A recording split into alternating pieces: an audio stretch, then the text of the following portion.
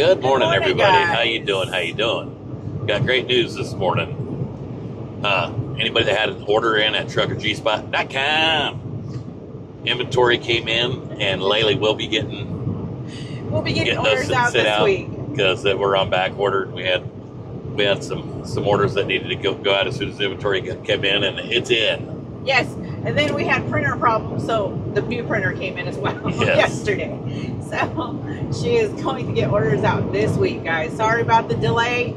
I know we sold out from Matt's of the original G Spot Trucker G Spot seasoning, so everyone's been waiting patiently, and we we appreciate it and thank you so much for all your love and your support Matter and of fact, matter of fact, we went to Ozark Travel Center this morning to get fuel there in Mount Vernon, Missouri, exit yep. 46 uh, at the TA, and they had one bottle left. So we're gonna have to get them restocked too. Yes. So thank you all so much for For all- the all your support. um, we actually got got a chance to stop by the house last night. We spent the night at home. did. We got to sleep in our own bed, which I don't even can't, I can't even say it's our own bed. It is our own bed, but I we sleep better in the truck than we do in our bed at home. You're just used to it. yeah, we're used to sleeping on this bed, and not the one at home. It's very odd.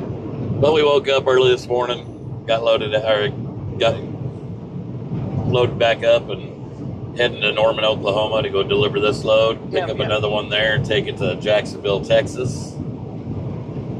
Looks like we'll be in Jacksonville, Texas for about a day. Yes, we will. Up? What are you messing with? He's like a little garbage can dog.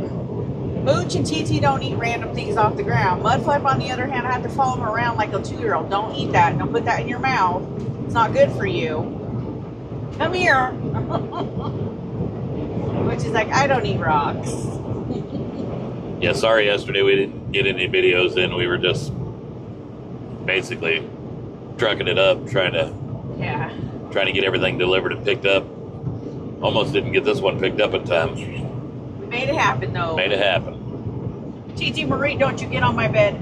Get down now.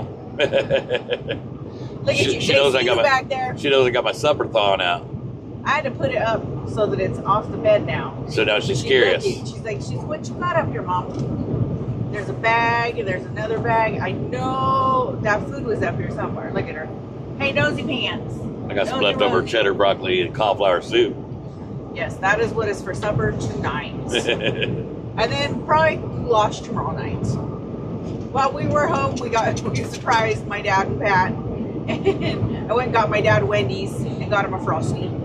got the truck washed this morning. We did get the truck It's looking washed good. Show, morning. show the hood there.